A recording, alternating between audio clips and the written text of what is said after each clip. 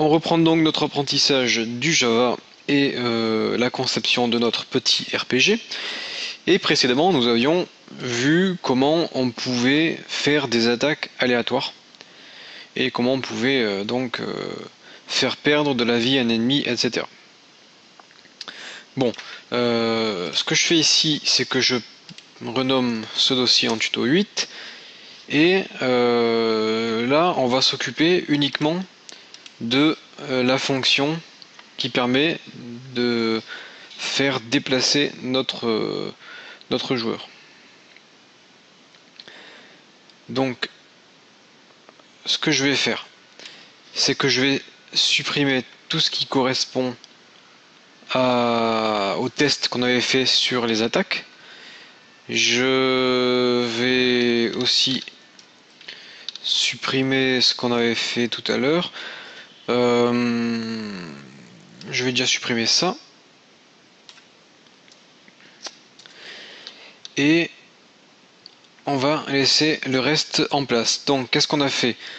On a créé une grille, on a placé quelques éléments, on affiche euh, les instructions et on affiche le personnage.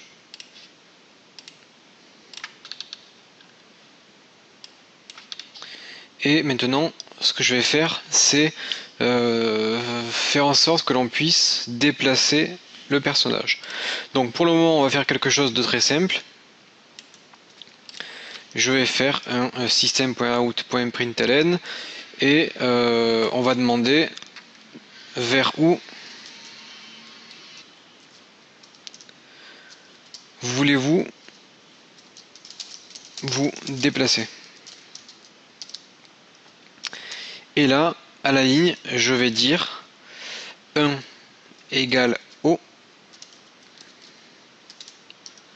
2 égale bas, 3 égale gauche et 4 égale droite. Voilà, donc là, euh, j'affiche l'instruction vers où voulez-vous vous déplacer. J'ai oublié de fermer la parenthèse et je vais quand même retourner à la ligne. Voilà, donc vers où voulez-vous vous déplacer? Ensuite, on donne les quatre directions. Et ce qu'on va faire maintenant, c'est qu'on va venir récupérer ce qu'on avait mis en commentaire en haut. Euh, la chose qui nous permettait de récupérer des événements clavier. CTRL V. Et là, on a scanner sc1 est égal à new scanner system.in euh, et on dit que int nb est égal à sc1.nextInt. Ensuite, on dit if nb plus grand que 0 et nb plus petit que 5, c'est-à-dire si le nombre est bon, à ce moment-là, euh, on va... Euh, en fait, non, on va pas faire comme ça. Je vais vous montrer une autre structure. Donc bien sûr, il va falloir tester si le nombre entré est correct, mais on va le tester d'une façon différente. On va le tester avec un switch. Un switch sur NB. Donc qu'est-ce que c'est un switch? Un switch, c'est quelque chose qui permet de tester plusieurs égalités entre un nombre et donc ce qui est entré au clavier. C'est pour euh, tester plusieurs cas de figure. Donc un cas est décrit par le mot-clé case. Donc case 1, 2 points. C'est-à-dire si on veut se déplacer vers le haut, à ce moment-là, eh bien, on va dire P1 point euh, déplacer H, ça s'appelait comment? Ça s'appelle comment?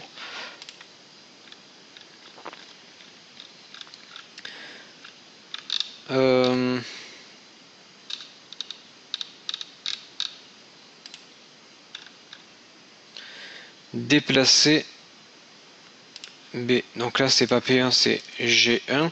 Point déplacer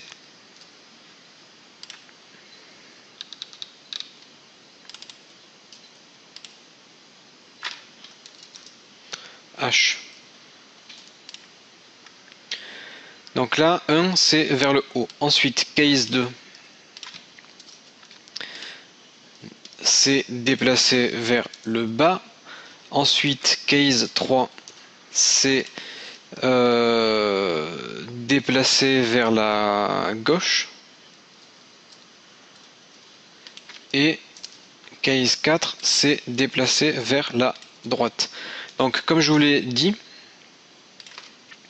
il faut tester si euh, le nombre entré est correct. Donc là, on a les quatre nombres corrects. Et sinon, on va faire une action par défaut. Donc default, deux points. Et là, on fait un système .out, .print, mauvais chiffre.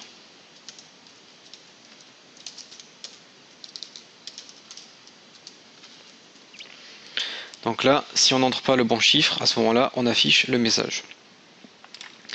Donc, euh, ce que je vous propose de faire, pour le moment de permettre aux joueurs de se déplacer 10 fois. Donc on aurait pu utiliser une boucle for, ce coup-ci je vais vous montrer une seconde boucle, je vais vous montrer la boucle while et je dis while qui veut dire tant que, tant que i est plus petit que 10, à ce moment-là, je vais réaliser toutes les actions euh, ici. Et bien sûr, à la fin, pour que i, que la valeur de i soit modifiée, je dis i.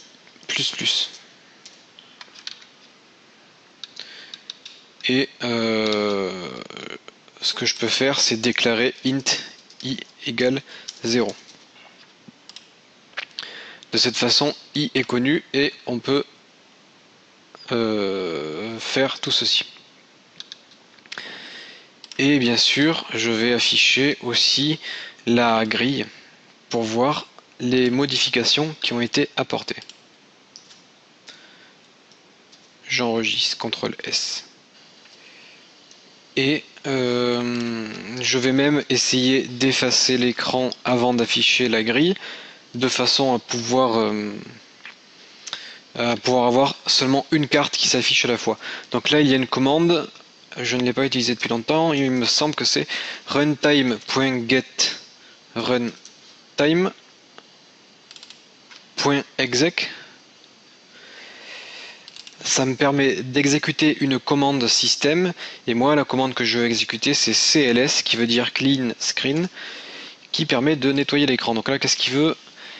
Euh, il faut utiliser un try catch. Donc les try catch permettent d'attraper les erreurs si jamais des erreurs se produisent. Donc très bien. Ok, et je vais tester pour voir si tout cela fonctionne. Donc j'ai mes, euh, la légende, la carte, les caractéristiques de mon personnage et on me demande où est-ce que je veux me déplacer. Donc moi je veux me déplacer en haut, je fais 1. Donc, qu'est-ce qu'on me dit? Euh, Il y a une erreur dans la ligne 102.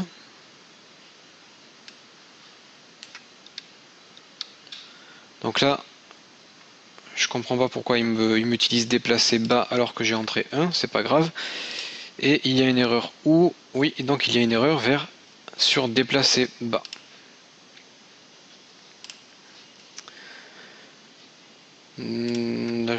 Que je comprends pas, c'est que j'ai rentré 1.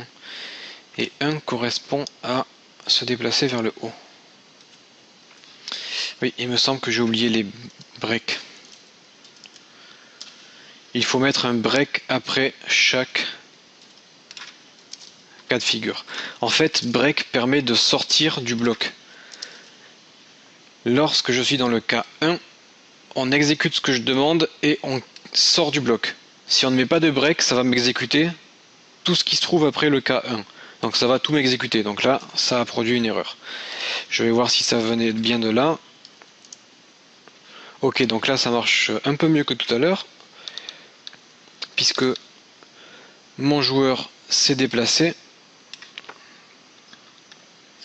Par contre, ce que j'ai écrit ici ne fonctionne pas le runtime ne fonctionne pas.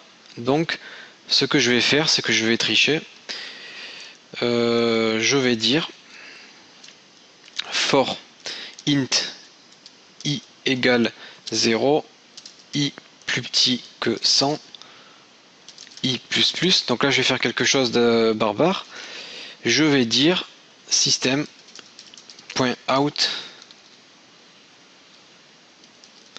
.print ln au moins ça va me nettoyer mon écran.